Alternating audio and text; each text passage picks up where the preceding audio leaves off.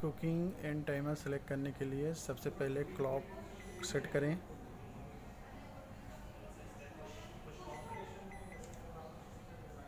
Hours. दूसरी बार clock का बटन दबाएँ। मिनट सेट करें। तीसरी बार कंफर्म करने के लिए क्लॉक का बटन दबाएँ। क्लॉक टाइम सेट होने के बाद cooking end timer button press करें।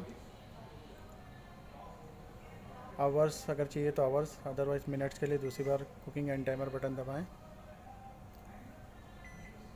मिनट सेट करें डिले के लिए जितना भी टाइम आपको चाहिए। और तीसरी बार कुकिंग एंड टाइमर का बटन दबा के कंफर्म कर दें टाइम अब फ़ंक्शन पर जाइए। कुकिंग टाइम सेट कर दीजिए। और स्टार्ट बटन प्रेस कर दीजिए।